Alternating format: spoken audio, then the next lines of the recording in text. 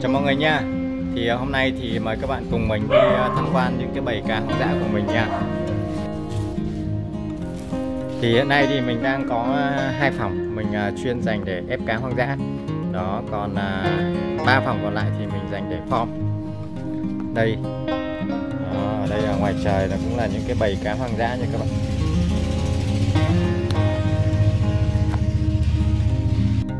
À, mình quay cá hoang dã các bạn thì nó hay chạy ha. Nên là rất khó nhìn như là các bạn à, xem những cái bầy beta. Bầy này thì là bầy len đen đấy mọi người. Đó nhưng bầy này hơi ít. Do cái hôm bữa thì mình có ra Hà Nội ấy, thì đúng trong cái giai đoạn mà con cá nó đang à, nói chung là nó đang giai đoạn vàng đó để các bạn giữ số lượng. Nhưng mà mình lại đi ra Hà Nội nên là bầy này nó cũng hơi ít. Bầy này có hơn trăm con thôi. Thì uh, thông thường cá hoang dã đó mọi người thì mình sẽ sinh sản trong những cái hồ rất là lớn như thế này. Đây đó, thì uh, mình sẽ nuôi nó đến một cái giai đoạn khoảng chừng uh, một tháng. Đó thì mình bắt đầu mình sẽ uh, tách sai. Và mình sẽ cho ra những cái hồ trẻ bản lớn hơn. Đó còn nếu mà mình cứ nuôi trong này mọi người thì cá nó rất là chậm phát triển và nó sẽ có cái lượng cá đẹp rất là nhiều. Đó thì ví dụ như những cái bầy như thế này thì mình sẽ phải uh, tách sai đó và cho ra những cái hồ lớn hơn thì hôm nay mình sẽ tách size luôn cho mọi người xem. Nói chung là làm những cái này thì nó rất là tỉ mỉ nha mọi người. Cá hoang dã thì ờ, nó sinh sản các bạn thì nó cũng rất là nhiều nhá. Nó một lần thì nó sinh sản cũng rất là nhiều. Tuy nhiên là nó cũng còn theo giống như theo mình nghĩ thôi.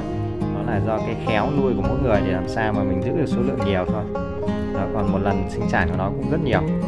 Chút thì mình sẽ quay cho các bạn xem những cái bầy nó đẻ cũng mình nghĩ là cũng phải bốn năm trăm đó đó nhưng mà cái hay là làm sao các bạn giữ được hết bốn năm trăm thôi.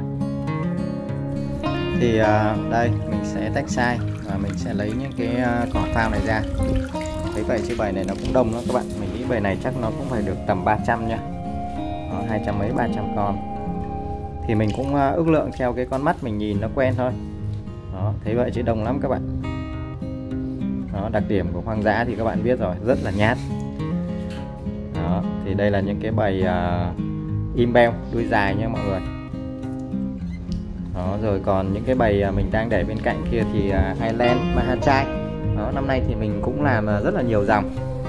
Rất là nhiều dòng cá hoang dã. Mình tập trung rất là nhiều vào cá hoang dã nha mọi người. À, có một cái một số dòng thì mình bị mất giống. Đó thì năm nay mình cũng nhập lại giống để mình làm.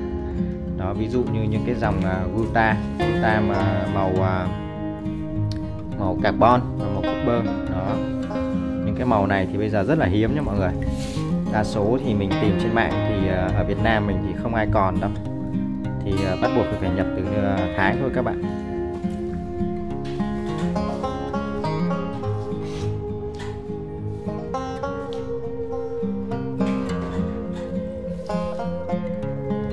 Đây, sau một hồi lay hoay vớt thì mình vớt được một cái thau như này các bạn.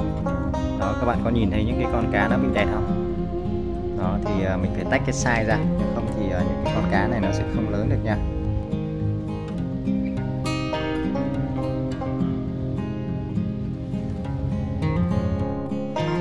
Đó, sau đó thì à, mình sẽ cho nó vào những cái hồ riêng. Hồ này thì mình đã chuẩn bị trước hai ngày nha mọi người đó.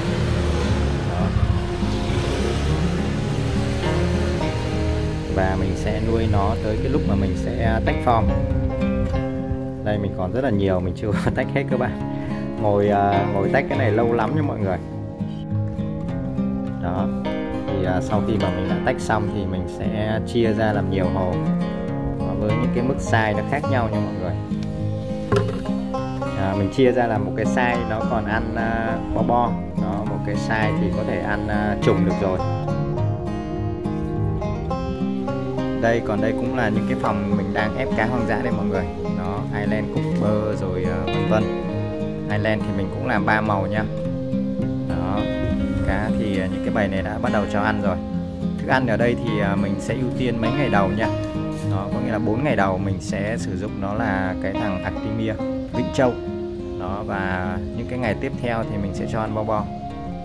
Bo bo thì mình nuôi ở nhà. Đó, đây là cái bầy len đen đó mọi người, rất là đông thì à, cái dòng len đen này mọi người nếu các bạn nào mà mình giống như mình thích ép một màu mà nó ra hai màu đó nó như những cái dòng mà Island đó thì các bạn có thể à, lấy con trống màu đỏ này các bạn ép với con mái màu vàng nha. Đó đó là cái cách làm đơn giản nhất. Đó là các bạn chỉ cần à, một bầy cá thôi thì các bạn sẽ có hai màu để chơi. Đó, còn tất nhiên thì nó sẽ ra theo tỷ lệ. Đó, màu nào nhiều màu nào ít thì mình không biết được nha mọi người. Đó nhưng đấy là cái cách làm dễ nhất cho các bạn ép một bầy nhưng mà có hai màu để chơi đó thì đây là những cái bầy uh, à, len đen và đó cũng là một cái cách để các bạn uh, uh, các bạn gì nhỉ? Các bạn đổi máu nhá. Đó, các bạn đổi máu cho những cái bầy cá hoang dã của mình. Đó là các bạn ép chéo màu này sang màu kia. Mình thì uh, mình chia sẻ vậy thôi nhá. Thì uh, bạn nào thích thì có thể làm theo. Đó không các bạn lại đừng có ném đá mình. Thì các bạn kêu ở ép vậy thì nó thế này thế kia nha mình ép rồi nha mọi người cái bầy len đen lúc đầu mình quay cho các bạn ấy, là nó có hai màu luôn màu đỏ màu vàng. Đó còn bạn nào thích làm ra thuần màu đỏ thì các bạn có thể ép uh, cặp màu đỏ. Nó bạn làm thuần màu vàng thì các bạn ép một cặp màu vàng. Thì uh, mỗi người một cách làm. Đó thì uh, mình cũng chia sẻ cái cách mình cũng đang làm. tiếp theo thì uh, có một cái câu hỏi tiếp theo mà có một số bạn nhờ mình trả lời ha. Đó là hiện nay đang có một cái cuộc thi cá beta online. Đó đó ở trên cái trang beta market thì uh, có một số bạn nhờ mình chỉ cho cái cách để các bạn quay cá ha. Đó, thì hôm nay mình sẽ làm một cái video nhỏ nhỏ hướng dẫn cho các bạn cái cách làm sao để các bạn uh, quay được con cá đẹp nhất. Đó, để các bạn up lên cái trang uh, beta market. Rồi mình có một cái lưu ý đầu tiên thì các bạn nên sử dụng những cái keo sâu hoặc là những cái keo kiếng nha. Đó để làm sao các bạn quay để nhìn rõ con cá nhất. Thì khi mà quay cá đó mọi người thì cái yếu tố quan trọng đầu tiên đó là các bạn phải quay đủ ánh sáng nha. Phải quay đủ ánh sáng đó thì người ta chấm người ta mới nhìn được con cá. Đó và ngoài ra thì còn một cái lưu ý nữa là các bạn không nên quay như thế này. Đó cái là các bạn quay kè ngang này này thì hai con cá nó cứ đâm đầu vào cái vách keo này các bạn thấy không? Đó thì khi mà người ta chấm thì người ta không có nhìn được cái form cái body của con cá. Không có đánh giá hết được nha mọi người. Đó thì khi mà các bạn quay như thế này thì uh, uh, người ta chấm không được thì rất dễ là các bạn sẽ bị loại đó. mặc dù là con cá của các bạn rất là đẹp nhưng mà khi nó kè lên ấy, người ta không đánh giá hết được cái form nha mọi người. Đó thì các bạn không nên quay như vậy nha. Đó các bạn cũng có thể dùng cái đũa để mình chọc cho nó kè. Đó là tốt nhất hoặc là dùng cái kiếng. Đó cái kiếng thì các bạn phải để đằng sau không được để bên cạnh để cho con cá nó đâm đầu vào keo như thế này nha. Đó còn đúng nhất thì à, các bạn nên có những cái keo sâu như thế này. Đó thì các bạn chỉ cần một cái thôi nhưng mà tuy nhiên thì ở đây nhà mình thì mình có rất là nhiều, nên là mình à, sử dụng hai cái thì nó đẹp nhất nha. Bạn nào không có thì mình chỉ cần một cái thôi, là ok rồi. Đó, thì à, các bạn bắt con cá lên, đó, mình cho vào keo sâu. Tuy nhiên là các bạn không nên quay luôn nha, theo cái quan điểm của mình thì mình khuyên các bạn là nên để đến ngày mai hãy quay. Đó, tại vì cái sâu này nó còn diễn ra rất là dài, tới tận 30 tháng 1 cơ. Đó, các bạn lên các bạn để cho con cá nó quen nước ở đây này. Đó, rồi ngày mai các bạn hãy quay clip nha đó, chứ các bạn đừng có quay luôn. Đó, nhiều bạn luôn thì các bạn cứ cố chọc nhiều khi con cá nó cũng không kè. Đó, các bạn để cái keo và cái con cá đến ngày mai hãy quay. Đó, tên của các bạn này rồi ngày tháng thì các bạn viết rồi. Đó. Rồi, qua ngày hôm sau nha. Qua ngày hôm sau thì các bạn bắt đầu dở ra và bắt đầu cho cá nó kè. Đó, đầu tiên thì các bạn có thể quay tên trước rồi mình quay xuống cá. Đây đó, rồi mình à, để gần cái điện thoại rồi, mình zoom lên.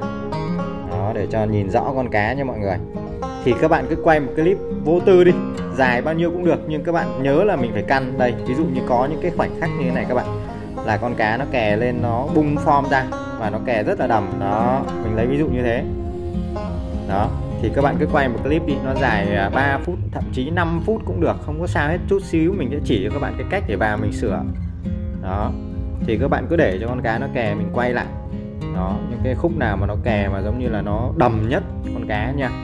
Đó, tại vì ở trên ờ, trên trang ờ, hướng dẫn thì người ta cũng cho phép là các bạn chỉnh sửa, cắt, lấy những cái đoạn mà con cá nó kè đầm đó mọi người. Đó, thì các bạn cứ quay tự nhiên. Rồi, nếu bạn nào là mình chỉ có một cái hồ sâu thôi, mình không có hai cái, ba cái, đó, mình chỉ có một cái hồ kiếng thôi, thì mình cũng để con cá lên keo đó rồi mình có thể dùng những cái vật dụng để mình à, chọc cho nó kè. Mình lấy ví dụ như đũa kè này kiếng này. Đó. Tuy nhiên là các bạn phải kè ngang. Đó kiếng thì các bạn để đằng sau như thế này nha. Các bạn đừng có để bên hông. Để bên hông là con cá nó kè nó sẽ đâm đầu vào cái vách keo là người ta không nhìn được cái form con cá. Đó.